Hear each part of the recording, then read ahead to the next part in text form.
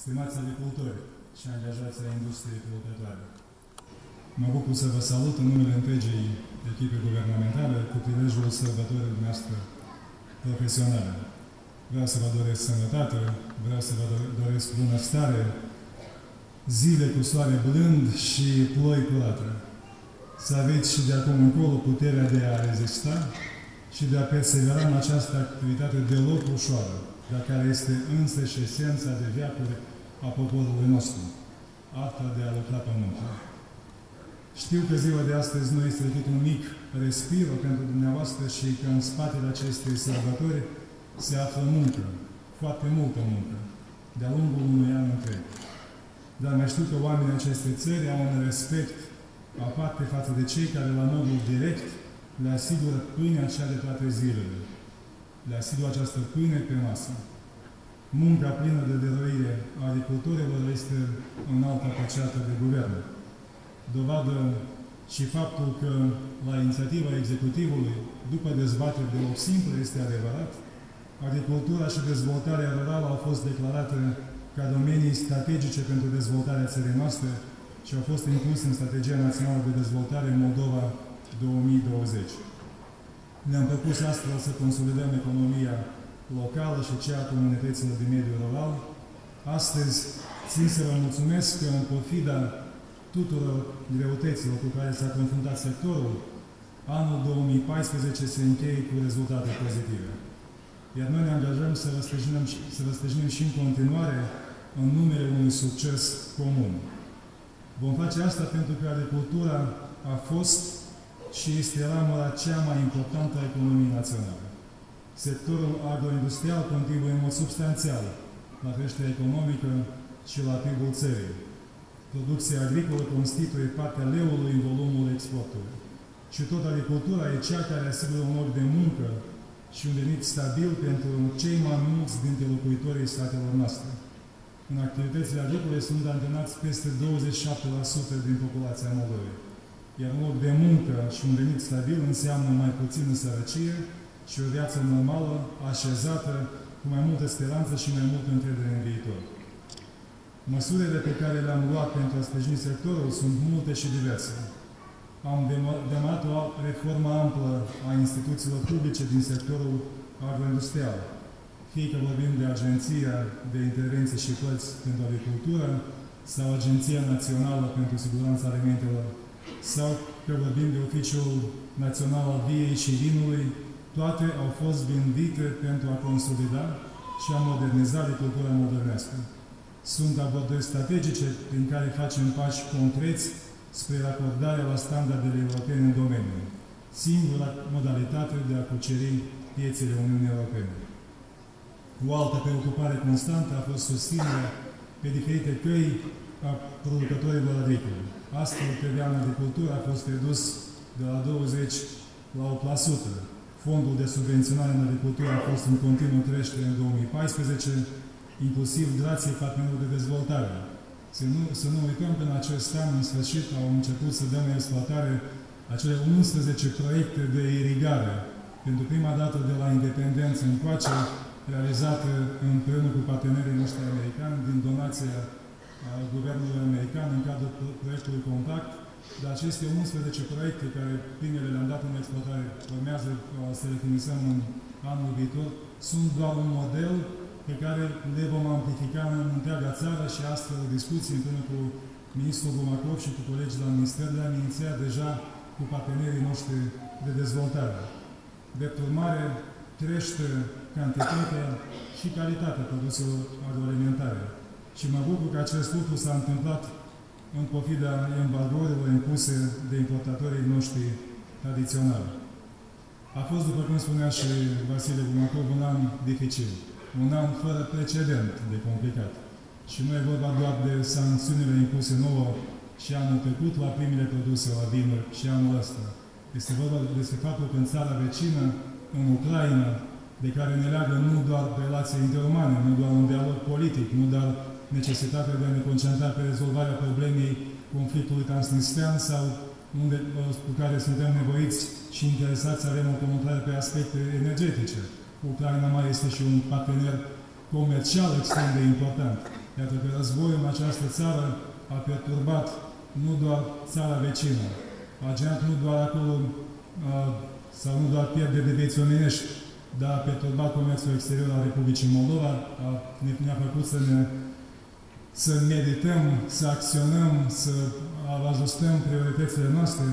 Deci a fost, după cum spuneam, un an fără precedent, ca complexitate și ca provocări. Bineînțeles că, din păcate, au avut de suferit și fermierii noștri.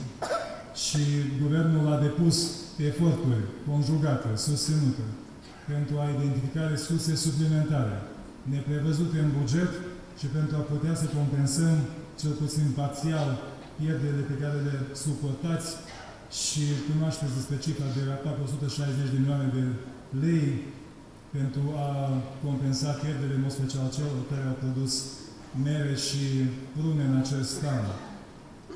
Și vreau să mulțumesc tuturor fermierilor pentru faptul că, în pofida acestor presiuni, în pofida, în pofida acestor provocări și sancțiuni, dumneavoastră nu v-ați lăsat intimidați. Celor care nu au renunțat să facă agricultură și care, în pofida tuturor piedicilor, au încercat să găsească pieți noi de desfacere. Iar asta am demonstrat în acest an plin de evenimente cruciale pentru Republica Moldova și pentru viitorul nostru european. Că, într-adevăr, ceea ce nu ne distruge ne face pe noi mai puternici.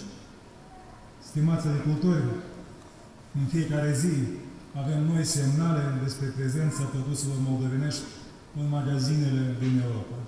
Sunt pași timizi, dar timide sunt toate începuturile. Și cred cu tărie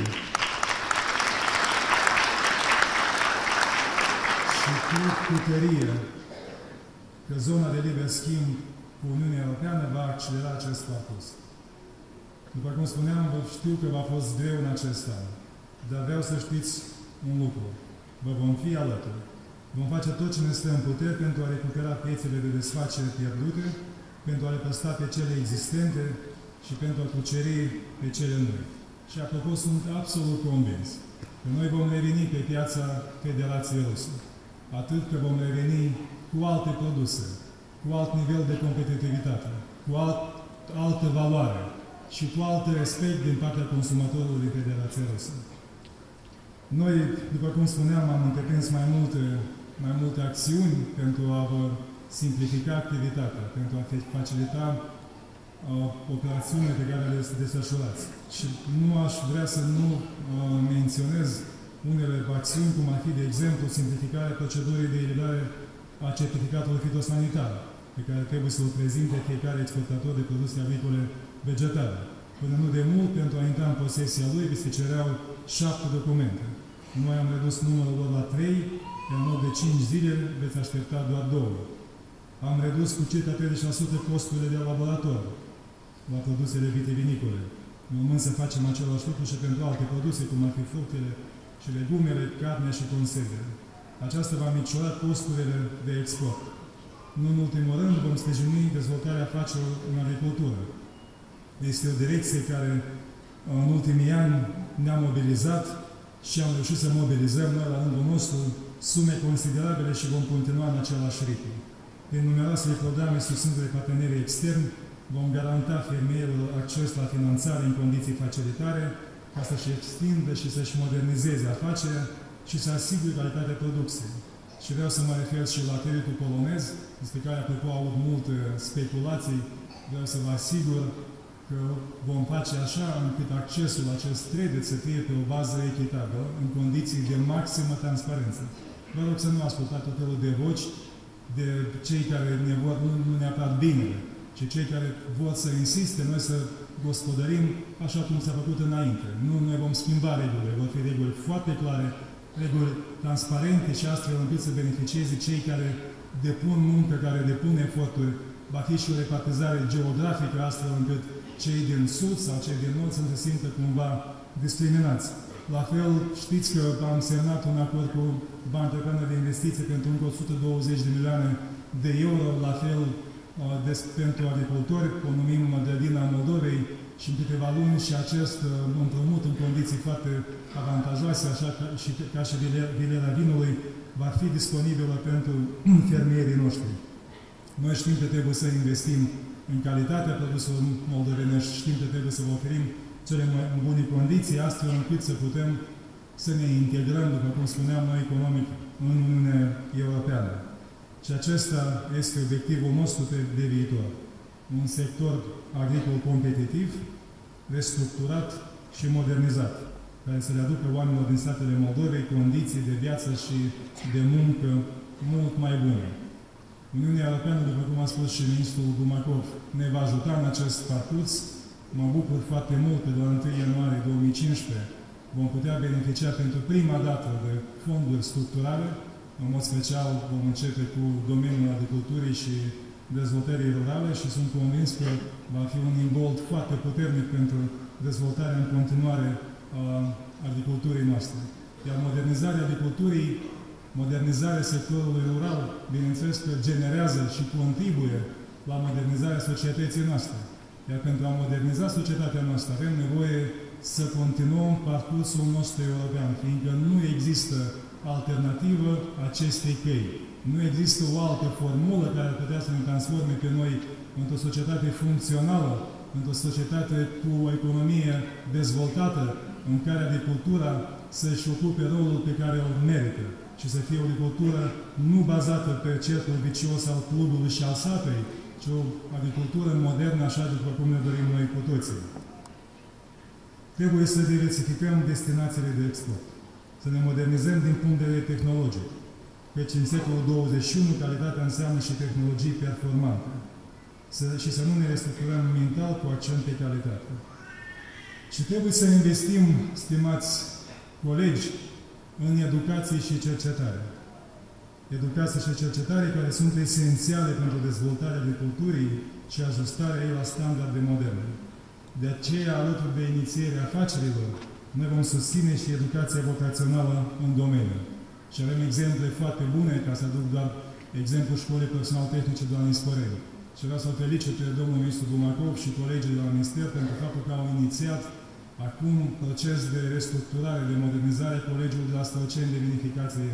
Și sunt convins că va, vom reuși să transformăm acest colegiu cu care trebuie să ne mândim, nici nu știam până nu de mult, este cea mai veche, cea mai cu cea mai, mai, mai bogată tradiție, nu doar din spațiul nostru, dar școală de vinificație din toată Europa.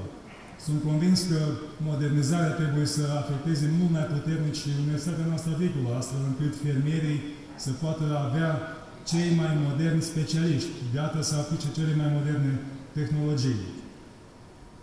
Fiindcă într-o agricultură performantă, bineînțeles că avem nevoie de oameni performanți. Cu notă strict personală în încheiere. Atunci când în mai 2013 am ajuns să, să fiu prim-ministru, trebuie să recunosc că cunoștințele mele despre agricultură erau limitate. Chiar dacă în Republica Moldova fiecare pricepe totul la două, trei lucruri, la fotbal, la agricultură și la politică, trebuie să recunosc că priceperea mea era minimă de tot. Iată că într-un an și jumătate, în virtutea faptului că agricultura, într-adevăr, este o ramură strategică, într-adevăr, este un domeniu prioritar.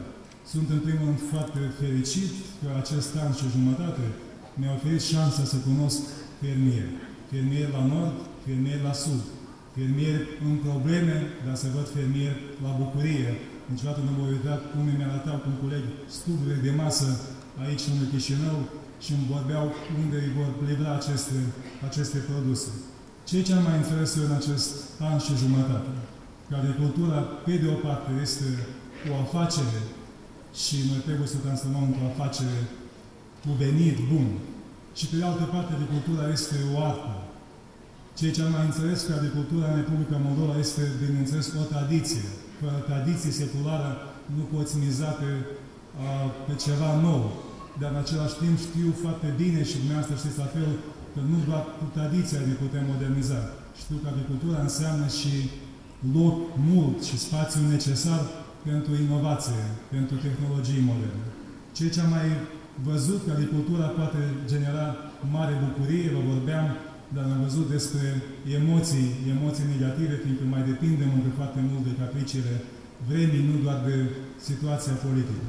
Și am înțeles încă o dată cu oamenii care sunt angajați în această ramură strategică, sunt oameni cu, cu mult curaj, care nu au frică să-și încerce cunoștințele, să-și depună eforturi, să-și riște resursele financiare în acest domeniu, care, după cum mă spuneam, încă este unul foarte și foarte complicat și dependent de atâția factori.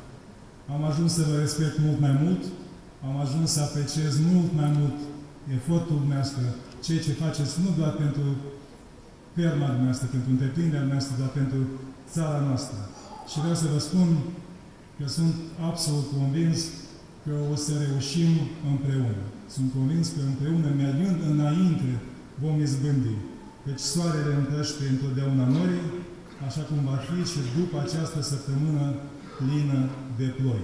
La mulți ani! Domnule prim-ministru, vă mulțumim foarte mult pentru această